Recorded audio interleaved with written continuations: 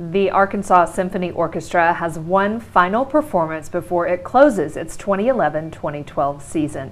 I'm Dawn Scott here with music director Philip Mann. It's good to see you as always. Thanks so much. It's great to be here. This is a wonderful way to end the season on a very entertaining note and the show is titled Wicked Divas. What's the thought behind this? Well, you want to finish up the season with a bang, and here we are, the end of our pop series. You, and we were thought, let's take the immense popularity of Broadway felt from coast to coast across the U.S. and bring it to the stage of the Robinson.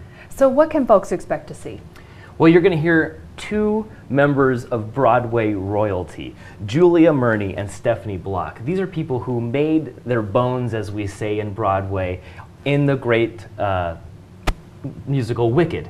And they're going to be singing, of course, the great hits from that musical, but you'll also hear things from My Fair Lady, Chicago, The Wizard of Oz. You'll hear the orchestra featured from selections from the great uh, opera by Bizet, Carmen. It's going to be a lot of variety, a lot of color, a lot of flair, and certainly a lot of New York style.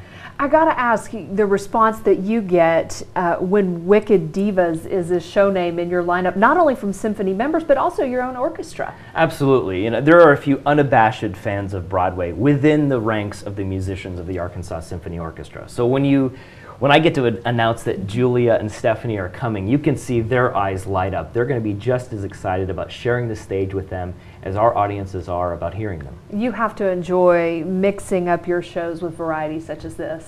Well, I think that's one of the great uh, challenges, but also at the same time, uh, one of the most satisfying things for me as a conductor of being able to do a lot of variety. And, those, and that variety and contrast and color is what people have come to expect from the Arkansas Symphony. Very much looking forward to it. Philip, thank you. Wicked Divas will be performed at the Robinson Center May 12th and 13th.